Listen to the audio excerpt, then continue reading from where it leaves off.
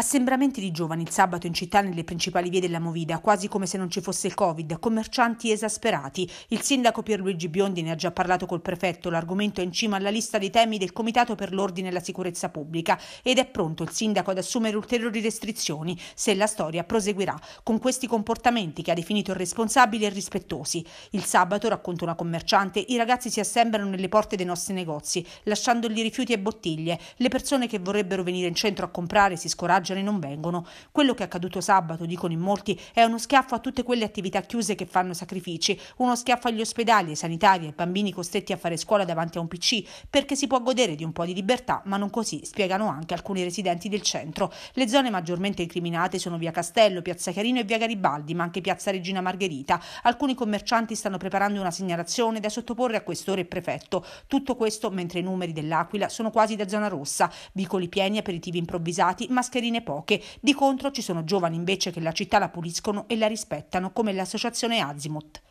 Non è la prima volta che assistiamo ad atti di maleducazione da parte di cittadini che preferiscono gettare i rifiuti a terra e non nei cestini o nelle aree di raccolta. Come associazione Azimuth riceviamo spesso molte segnalazioni su questa tematica noi cerchiamo di fare il nostro piccolo, con una rete di associazioni siamo più volte intervenuti eh, per tenere pulita la città e riqualificare tante aree all'insegna anche di un messaggio di sostenibilità che vogliamo mandare per far vedere che i giovani non sono soltanto quelli che sporcano gli irresponsabili, ma anche quelli che eh, cercano di eh, dare l'esempio. In questo caso dare l'esempio significa eh, lanciare un messaggio non di giudizio, ma di eh, buonsenso. Quindi cerchiamo tutti insieme eh, di rispettarci e di rispettare la nostra città.